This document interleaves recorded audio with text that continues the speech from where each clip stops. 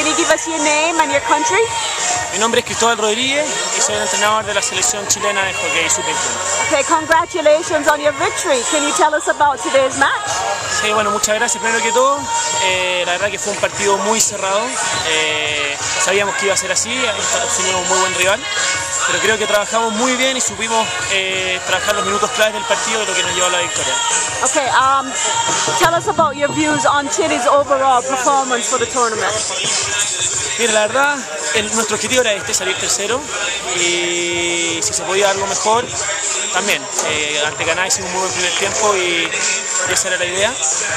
Eh, de continuar el partido completo así, bueno, lamentablemente no se pudo hacer, pero, pero nos quedamos conformes con este tercer lugar, porque más encima nos da la primera reserva para, para la clasificación mundial, así que esperemos que alguien se baje para así poder ir a, a Nueva Delhi. Okay, so what's next for this team?